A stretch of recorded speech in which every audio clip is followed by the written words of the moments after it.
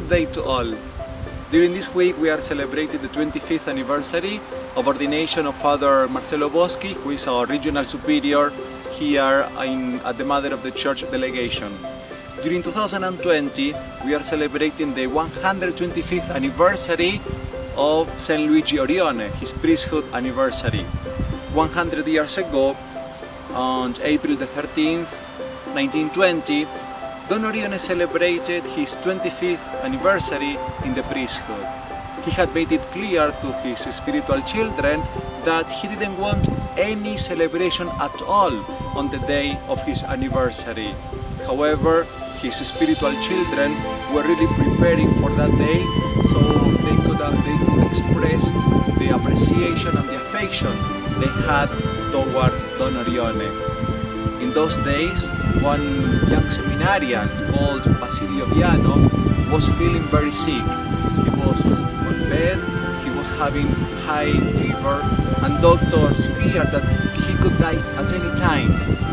So the night on the, on the 12th of April, Don Orione spent the whole night taking care of Seminarian Basilio Viano.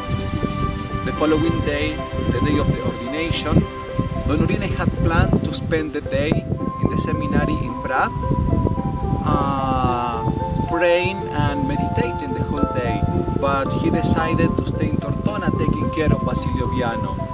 On the day of the ordination at lunchtime, uh, the children and the priests had prepared uh, a nice celebration for Don Orione, but he decided instead of taking care of the seminarian. So uh, Don Orione, Basilio Viano on the deathbed, and another seminarian working uh, as a nurse were taking care of the young seminarian. Uh, the priests from outside they were knocking at the door calling for Don Orione, but he preferred to spend the day taking care of the sick person.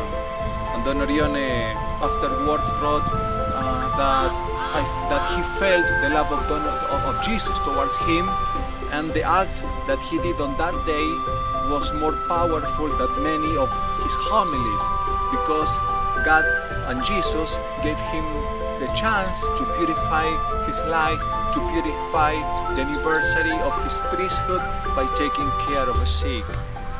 Unfortunately, Seminarian Basilio Viano died five, five days later. But for Don This was something that marked, and until today, uh, it has to be an example for us that the charity we do to our brothers is most is worthier than many words or many homilies that we can do.